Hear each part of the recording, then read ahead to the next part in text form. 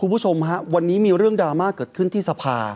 เห็นบอกว่าสสหมิวและลินพัฒน์ใช่ไหมสสพักเก้าวไกลสิริลพัฒน์เออสิริลพัฒน์ขออภัยสสหมิวเนี่ยเขามีคนไปแอบถ่ายได้ค่ะแล้วบอกว่าเป็นโรงอาหารสภานี่ภาพนี้เลยคุณฝ้าย คือคนที่แอบถ่ายก็สอสอด้วยกันนั่นแหละ แล้วคุณหมิวเขารู้ด้วยนะ เพราะเขาบอกว่าเป็นสอสอสองสมัย ไม่รู้ว่าเข้ามากี่ครั้งคุณผู้ชมและถ่ายเขาไปแบบพบเห็นอดีตดาราสาว ลักลอบนำอาหารสภากลับบ้าน และเป็นภาพคุณหมิวกำลังหยิบ อะไรถุงอะไรอย่างเงี้ยค่ะตรงนี้คือห้องอาหารของสภา ประเด็นคือคนที่เขาเอามาโพสต์เนี่ยไม่รู้มีเจตนาอะไร แต่คุณหมิวเดือดเลย เจ้าตัวเนี่ยโพสต์กลับเลยบอกน่าแปลกใจนะคะ เป็นสสมาสองสมัย ก็ไม่ทราบว่าได้เข้ามาห้องอาหารตอนเลิกประชุมสภากี่ครั้ง ตั้งแต่มีประชุมสภามาหมิวกล้ายืนยันว่าหมิวอยู่จนจบประชุมสภาทุกครั้งพร้อมเพื่อนสสก้าวไกลอีกหลายคน หลังจบประชุมที่ห้องอาหารก็จะมีอาหารที่เขาเตรียมไว้ให้ ตามจำนวนสสคือมันเป็นดราม่ามาคือหนึ่งคุณหมิวน่ะ เอาข้าวสภากลับบ้านอืมสองการที่ทางด้านของคนถ่ายเขามีเจตนาอะไรที่จะมาถ่ายคุณหมิวแล้วลงแบบนี้ คือจริงๆอะดิฉันก็งงมากว่าดราม่าอะไรกันอืมทำไมข้าวสภาเอากลับบ้านไม่ได้เหรอ เออ นั่นน่ะสิฮะ แล้วบอกว่าคุณผู้ชม พอไปถามเสร็จปุ๊บทำไมข้าวสภา ผมเพิ่งเคยเห็นนะทำข่าวสภามาก็เยอะ แต่เพิ่งเคยเห็นโรงอาหารสสของสภาใหม่ โอ้โห ยิ่งใหญ่อลังการเหมือนกันนะเหมือนร้านอาหาร เออ สวยหรูเลย แล้วเขาบอกว่า จัดเอาไว้เนี่ยให้สำหรับสว แล้วก็สสในวันที่ประชุมค่ะมีทั้งอาหารเช้า อาหารกลางวัน อาหารเย็น อันนี้สำหรับมื้อหลักนะฮะ แต่ถ้าสมมติว่าสสมีไปประชุมคณะกรรมการชุดเล็ก แล้วจะมี coffee break นี่หรือจะมีเลี้ยงอาหาร อันนี้ก็จะมีงบประมาณอีกส่วนหนึ่ง เพื่อที่จะให้สสผู้ทรงเกียรติกับสวผู้ทรงศักดิ์ค่ะ ใช้ในการดำเนินงานกิจการ สุดท้ายแล้วพอมีบอกว่าอ้าวแล้วสสบางคนน่ะ ได้กินข้าวหรือยังทำไมสสหมิวเนี่ยหอบของสิริรพัฒน์เนี่ยกลับบ้านเหรอเอาของกลับบ้านแบบเนี้ยแล้วถ้าเพื่อนสสตามมาไม่มีข้าวกินล่ะจะทำยังไง คุณผู้ชมฮะวันนี้เพื่อความกระจ่าง เห็นบอกว่าร้อนถึงสภาเลยนะฮะวันนี้ท่านรองประธานสภาคนที่สองคุณพิเชษฐ์เชื้อเมืองพาน วันนี้ก็มีการออกมาบอกเหมือนกันเกี่ยวข้องกับประเด็นนี้ แล้วก็บอกว่าเรื่อง เนี่ยไม่อาจจะผิดนะที่สสจะเอาอาหารกลับบ้านหลังเลิกประชุมแล้ว แล้ววันเนี้ยก็มีห้องส่วนตัวสมาชิกอะไรต่างๆ นานา ก็มีการบอกบริจาคมันก็เหลือเพราะอาหารมันเยอะ เดี๋ยวมันจะเน่าเปล่าๆ ทานไม่ทัน ไม่มีที่เก็บหรอก อาหารสภาอ๋อเหรอฮะอาหารเลี้ยงสสเน่านะฮะแล้วก็ไม่มีที่เก็บ แต่เมื่อกี้เราเล่าข่าวที่สมุทรสงคราม ไม่มีข้าวจะกิน ไม่มีข้าวจะกิน แต่อาหารของสสบอก ถ้าไม่เอาไปเนี่ยมันก็เน่า คาสภามันทานไม่ทันหรอกแล้วไม่มีที่เก็บ ดังนั้นผมก็คิดว่าไม่มีกฎหมายห้าม ไม่ให้สสเอากลับบ้าน หรือไปทานในสภา หรือจะเอาไปทานนอกสภา ใส่ถุงได้ไม่มีปัญหา ตอนเย็นอาหารเหลือทางเจ้าหน้าที่ก็ใส่ถุงอย่างที่ท่านพูดแหล้วครับ แล้วก็เอากลับบ้านกันนะครับไม่ใช่เฉพาะท่านสมาชิกนะครับทั้งเจ้าหน้าที่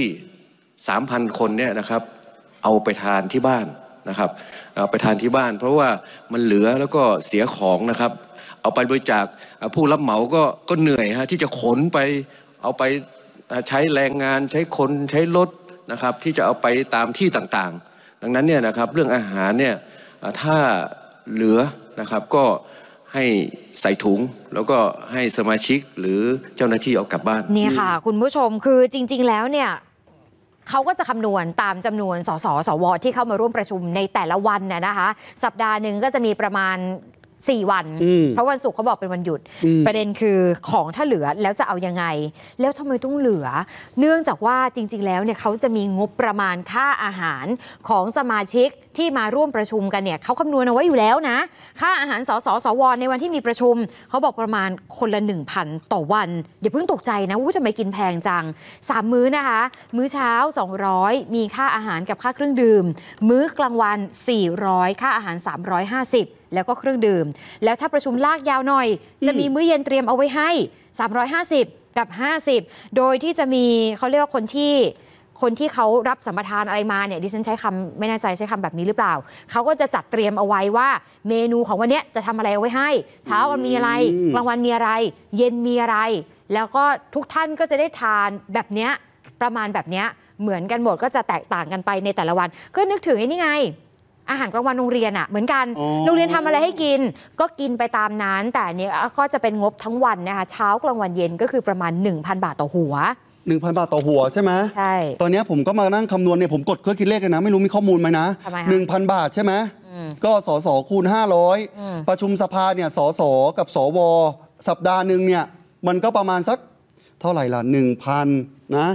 คูณ 500 ถูกไหม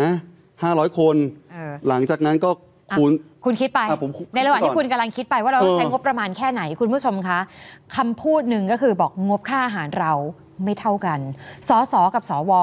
หัวละ 1,000 ต่อวัน ในขณะที่ถ้าไปดูงบของกลาโหม งดข้าวนะคะอาหารเกณฑ์นะคะ ใช้แรงเยอะขนาดนี้ต่อวัน แต่งบอยู่หัวแค่ประมาณ 45-60 บาท ส่วนโรงเรียนซึ่งสนับสนุนคือแต่ละโรงเรียนเนี่ยมันจะขึ้นอยู่กับจำนวนของนักเรียน ถ้าโรงเรียนที่มี 1-40 คน อันนี้ระดับชั้นอนุบาลถึงป .6 จะได้รับเงินสนับสนุนคนละ 36 บาท แต่อันนี้เขามื้อเดียว มื้อละ 36 บาท ถ้าขนาดใหญ่ขึ้นไปอีก สมมติโรงเรียนมีแบบ 120 คน อาหารกลางวันมื้อละ 24 บาท อันนี้พูดแบบ ดิฉันไม่รู้นะอืมอืมอืมอืมเราแทบกินอะไรไม่ได้เลย 20 กว่าบาท แต่เนื่องจากว่ามันจะต่างกัน เพราะว่าเราอะซื้อเป็นเป็นเมนูเป็นมื้อใช่ไหมคะอ๋อแต่ทางนั้นของโรงเรียนเนี่ยเขาจะมีคนที่คำนวณเป็นแม่ครัวเป็นคุณครู ที่จะคำนวณว่าวันนี้ทำเมนูอะไร แล้วจะทำหม้อใหญ่ ๆ เพราะฉะนั้นเขาจะเฉลี่ยออกมามันก็อาจจะมีต้นทุนที่ต่ำลงไปหน่อยนั่นแหโอ้ละอันเนี้ยงบประมาณผมว่าเนี่ยผมนั่งคำนวณแล้วอะก็เทียบเคียงกับงบประมาณเก่าตอนปี 64 นะฮะคุณผู้ชม อันเนี้ยเป็นเรื่องตัวเลขเอามาให้ดูขำๆสนุกสนุกแต่ไม่รู้ว่าเป็นยังไงนะ งบประมาณตอนปี64 ตอนนั้นไม่มีสสถูกไหมมีแค่สว ใช้งบประมาณนะฮะในเรื่องของอาหารของท่านสว มื้อเช้า มื้อกลางวัน มื้อเย็น 14 ล้าน8แสนสวเนี่ยมีอยู่ 250 ใช่ไหมแล้วถ้าบวกไปอีก โอ้โห เท่าไหร่ล่ะ ผมคิดคำนวณดูเมื่อกี้เนี้ย40 กว่าล้านนะฮะ ต่อปี อะ ไม่มีอะไรหรอกฮะ เอามาให้คุณผู้ชมดูเล่น ๆ 40 กว่าล้าน ต่อปีสำหรับอาหาร อันนี้เป็นคลิปเก่าที่บอกสสกินอะไรนี่อ่าแม่ดู แต่ประชาชนเมื่อกี้เนี่ยที่สมุทรสงคราม ไม่มีถังแก๊สเลยนะฮะ มีแค่ในส่วนของเตา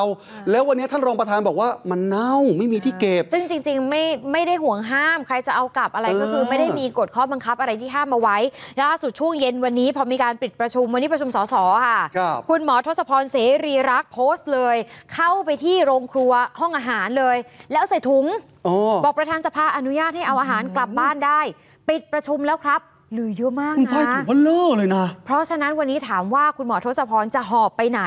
คุณผู้ชมคะช่วงหัวค่ำที่ผ่านมาค่ะ ทีมข่าวเราลงพื้นที่ไปพร้อมกับหมอทศพร ถนนโอ้ราชดำเนินนะคะสามทุ่มครึ่ง คุณหมอเอาของมาแจก เพราะฉะนั้นวันนี้รู้เลยว่าสสกินอะไรราดหน้าทะเลก๋วยเตี๋ยวแห้งใส่เครื่อง แล้วคุณหมอบอกว่าก็ตั้งใจเอามาแจกให้กับคนไร้บ้านวันนี้ตั้งเป้าไว้สองที่คือราชดำเนิน แล้วก็แถวหัวลำโพง คือจริง ๆอะคุณหมอก็ไม่แน่ใจว่าจะดราม่าทำไม เพราะว่าตัวเองทำอยู่เป็นประจำเอาเออ ก็คือเอาของเนี่ยมาแจกให้กับคนไร้บ้านอยู่แถวๆนี้ แต่ว่าที่ไม่ได้บอกใคร เพราะว่าเดี๋ยวก็กลัวจะเกิดเรื่องดราม่า แล้วก็ดราม่าจริง ๆ เป็นกรณีของคุณหมิว ก็วันนี้พอมันมีเรื่องขึ้นมาก็ถือว่าดี เพราะประธานสภาจะได้ชี้แจงไปเลยว่า เอาไปได้ ฟังเสียงคุณหมอดูหน่อยค่ำคืนนี้ค่ะประชุม สภาครั้งแรกๆก็เห็นแล้วกับข้าวมันเหลือบานเบอะแล้วก็พอประชุมเสร็จเนี่ยเขาก็จะเนี่ยจัดเป็นถุงๆเนี้ยอันนี้ผมไม่ได้จัดเองนะเขาก็จะจัดแล้วก็วางไว้บนโต๊ะเต็มไปหมดเลย แล้วก็ท่านสก็บอกเขาก็จะบอกกันช่วยเอากลับไปทานกันหน่อย ที่เหลือก็ก็ส่วนหนึ่งก็ให้รอปภบ้างให้อะไรบ้างก็เป็นประจำอยู่แล้ว ผมบอกงั้นผมก็ขอเอ่อเอามาแจกอะนี่ฮะก็ก็ดีกว่ามันเสียมันเน่าเนาะไม่รู้จะพูดยังไงมันจุกอกเหมือนกันนะอ่าเพราะ ไม่ได้เอาข่าวมาเพื่อเสี่ยมอะไรนะฮะคุณผู้ชม แต่ในสภาข้าวเหลือแบบเนี้ยบานเบอะเลยบานเบอะเหลือเลยท่านสสผู้ทรงเกียรติท่านไม่กินเลย แต่คนไร้บ้านแค่เห็นแบบเนี้ยดีใจแล้วนะฮะกับสสที่กับข้าวสสที่ไม่กินในค่ะสภา